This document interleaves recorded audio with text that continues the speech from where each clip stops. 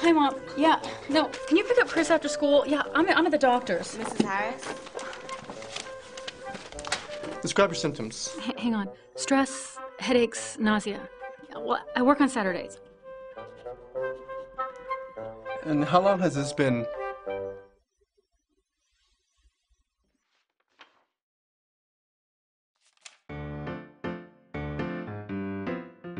Equanimity. Balance your lifestyle.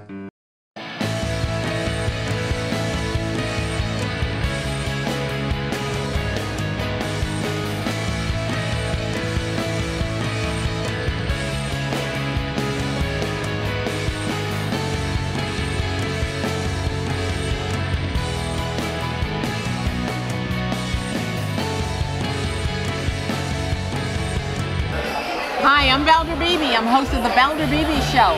Go online to my channel, valderbeebeshow.com, or my network, blacksuccessacademy.com. You find great videos. But today I'm on site and I'm talking to Nas. Nas, welcome.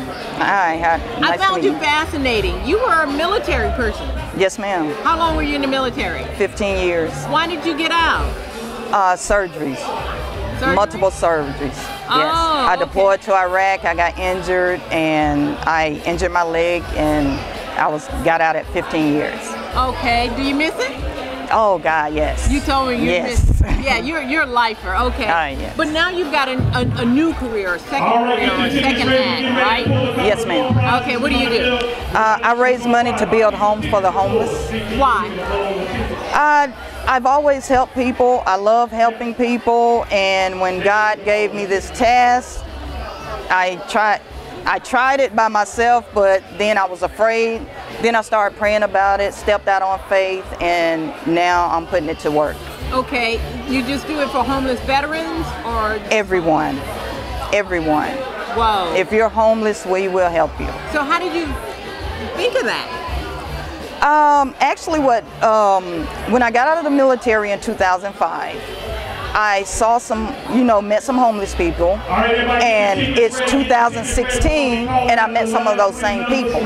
So what that tells me is someone's not doing what they're supposed to do with the funding.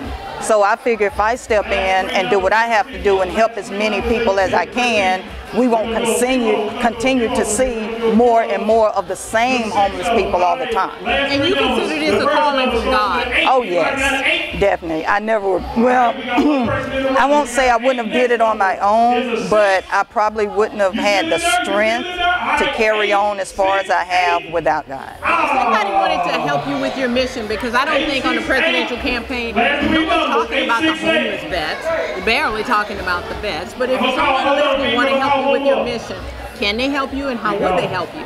Uh, yes, they can. They could help me. Um, they could. I would like to get with the county to see if they have land to donate. Um, money, land, just anything that anybody have to donate for the homeless, we're welcome. How would they contact you? Um.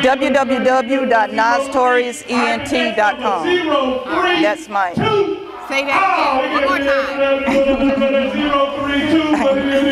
www.nostoriusent.com.